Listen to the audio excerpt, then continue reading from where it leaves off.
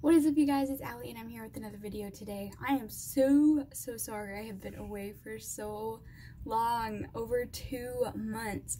But um, in November I launched a business, so it really did become literally my child.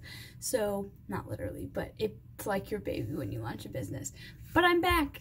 Birds of Prey trailer 2 has been released. I'm super excited for this.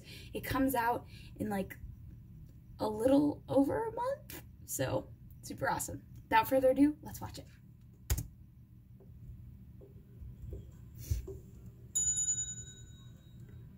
Can I help you? Why, yes, yes, you can. I'm here to report a terrible crime. And what terrible crime is that? This one. Ah, shit. I told this all wrong. Quick history lesson. This started when the Joker and I broke up. It was completely mutual. And soon enough, I was back on my feet, What? ready to embrace the fierce goddess within.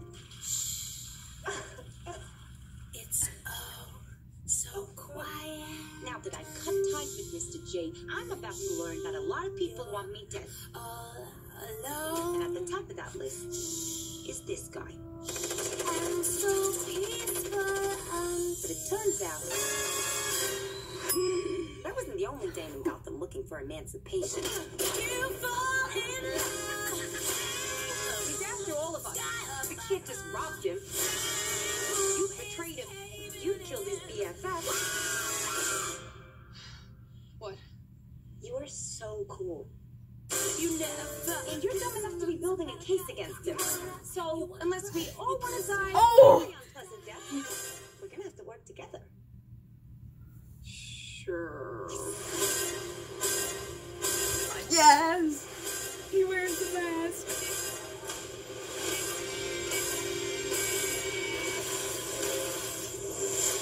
Psychologically speaking, vengeance rarely brings the catharsis we hope for. Yeah. Are we ready?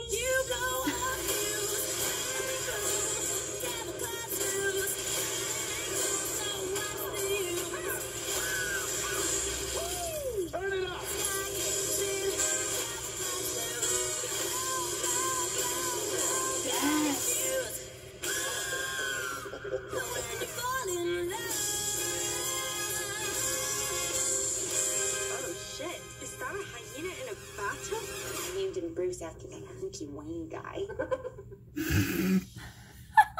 That's great!